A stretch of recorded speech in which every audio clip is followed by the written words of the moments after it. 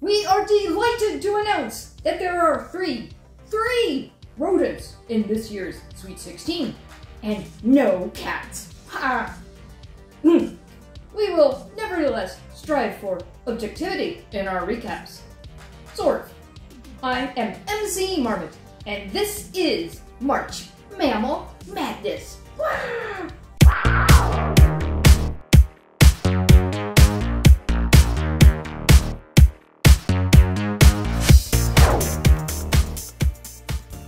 Hey MC, I'm back in Scotland with the Golden Eagle. She's had a really easy time so far. But now, oh, here some Palaeocastor has arrived. Uh, it, the, the Palaeocastor's not really all that big, is it? And, whoa, here comes a Golden Eagle swooping down and, oh no. Same old story. The Eagle has sliced up this slice of prehistory. The Sweet 16 is the last round for the higher seed to enjoy home habitat advantage. As a result, the Dik Dik landed in hot, sunny Algeria. She went in search of shade and encountered the Hyrax. The Hyrax squeaked indignantly. The Dik Dik stood her ground. But suddenly, the battle was interrupted. A dog had broken free from a group of tourists and charged the scene.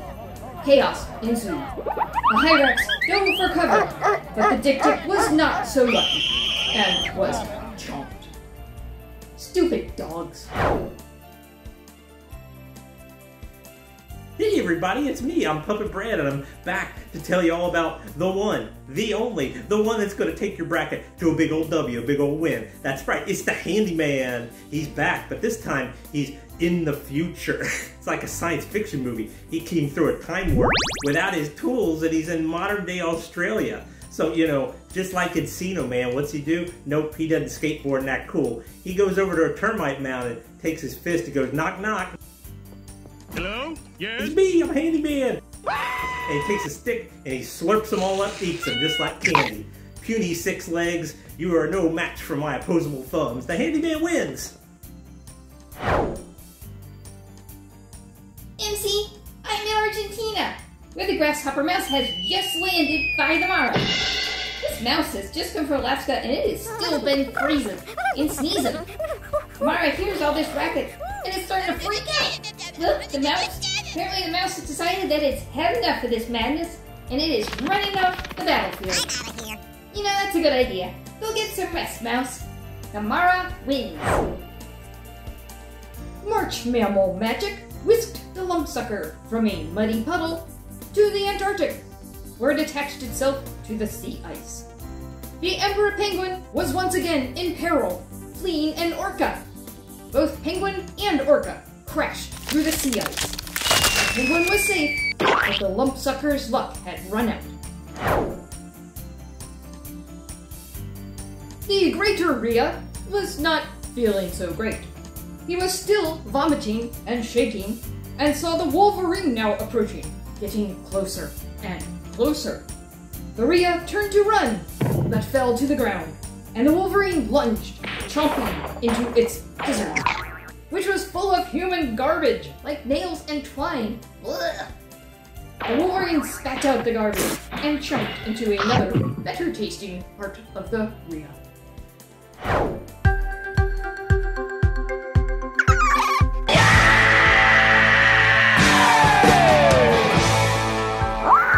The kudu weighs about 1,432 stoats. That is a lot of stoats. The striped hyena, meanwhile, is about 205 stoats. Imagine the drama, if you will. Under an acacia tree, the greater kudu and striped hyena locked eyes. They sized each other up. The tension intensified. Then the hyena turned and ran off, looking for something to scavenge. The kudu wins. The dolphin was beached, but March Mammal Magic whisked it away from the seashore to a riverbank near the okapi. The okapi cautiously approached the dolphin and then licked it. Mmm, salt. The dolphin was revolted. Oh and my God. Into the river, hoping it would carry it downstream to the ocean. The confused Okapi is the winner. And then there were eight, including one rodent. Join us tomorrow for the Elite Trait. Thank you for watching, and remember, if you're learning, you're winning.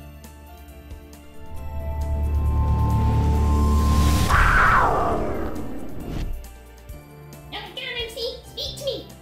Hey! Okay, get out of the way, it's my turn.